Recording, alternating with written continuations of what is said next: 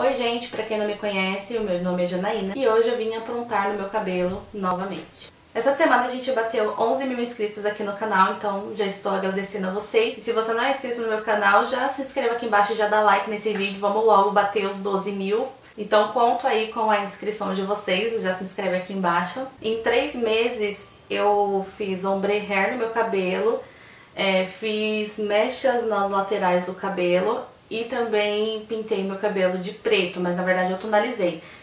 E hoje nesse vídeo eu vou fazer mecha rosa. Eu vou deixar aqui no izinho pra vocês assistirem esses vídeos que eu falei. Então dentro de três meses já mexi muito no meu cabelo, mas nunca é suficiente, então vamos estragar ele mais um pouquinho.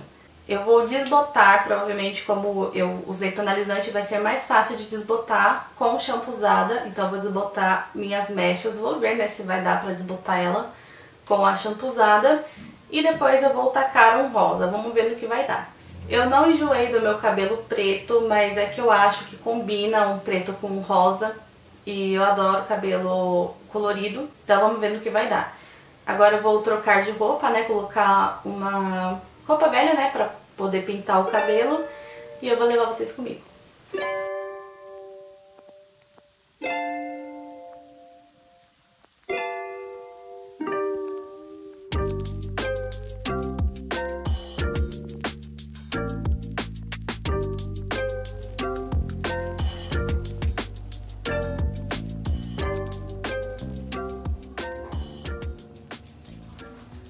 Bom, gente, voltei aqui pra mostrar pra vocês como ficou. A champuzada não deu certo, então eu tive que passar um descolorante. Eu descolori por 20 minutos, se eu não me engano, e ele deu uma... ele abriu um pouco.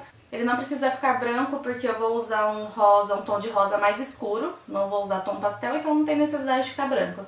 Então por isso que eu deixei menos tempo pra agredir menos o cabelo.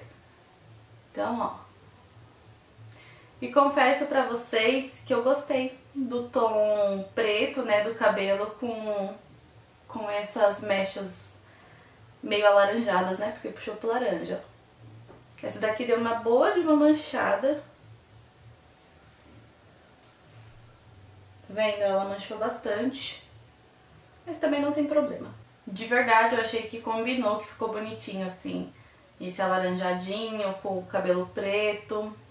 Eu até pensei em deixar um tempinho assim e depois mudar pro, pro rosa, mas não, vou fazer isso hoje mesmo.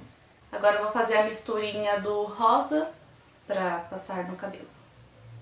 Ó, aqui eu coloquei uma máscara de cabelo. A máscara tem que ser branca pra você conseguir ver a cor. Aqui eu fiz com anilina.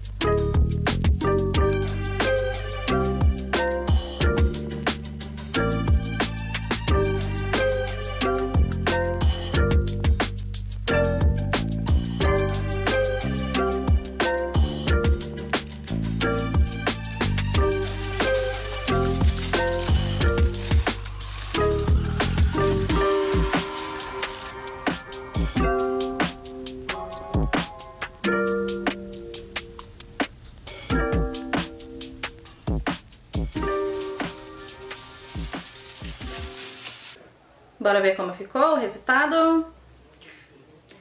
Ó, vamos começar pelas pontinhas. As pontas, ó, bem rosinha, um rosa bem forte. Eu não curto muito, assim, no meu cabelo tom pastel. Eu gosto de tom mais vibrante mesmo. E assim que ficou minhas mechas, gente. Confesso pra vocês que eu gostei muito do meu preto com rosa. Bom é que ele vai desbotar, então depois dá pra trocar, colocar um... brincar com as cores, né? Colocar um azulzinho, colocar um roxinho. Eu sou suspeita pra falar porque eu gosto bastante de cabelo colorido. Eu uso desde, assim, da minha adolescência. Eu pintava a parte de baixo aqui do meu cabelo de roxo. Comenta aqui embaixo o que vocês acharam, se vocês acharam que combinou com o meu cabelo. Já deixa seu like no vídeo, se inscreva no canal, rumo aos 12 mil inscritos. E é isso, um beijo e até os próximos vídeos. Tchau!